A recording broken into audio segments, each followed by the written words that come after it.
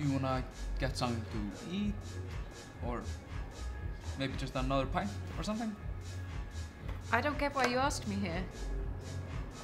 This is a date. We're on a date.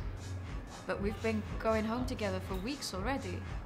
Yeah, but I thought we'd just do something nice. Uh, you know, not in the middle of the night type of nice. Okay. I didn't know you were into that. Of course I'm into that. Hey guys, Hey, man! what's going on? Má ég setjast?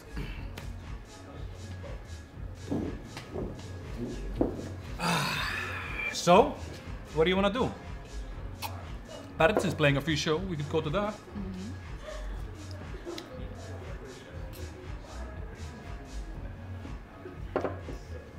Are you guys on a date?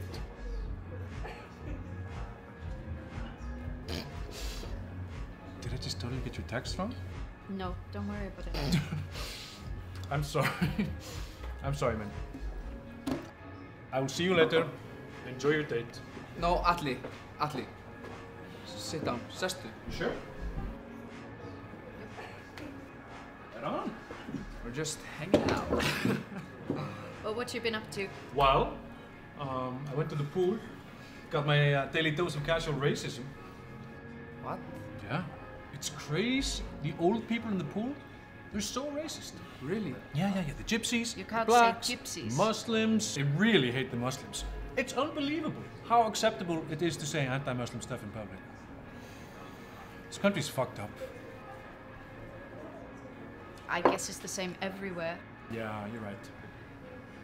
The solution is two people like you get together, have kids, get married, just relentless sex and pregnancies until you have enough liberal little kids in your liberal little family to outnumber all the crazy people.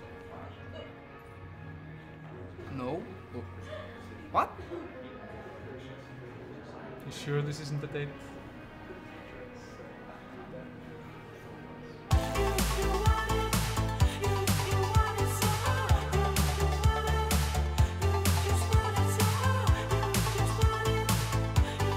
This British guy was so annoying. He was just like, hey, I know so much about the Icelandic oh. sagas and the Nordic gods. And I was like, shut the fuck up, kill me now. Like, it doesn't impress anyone. exactly.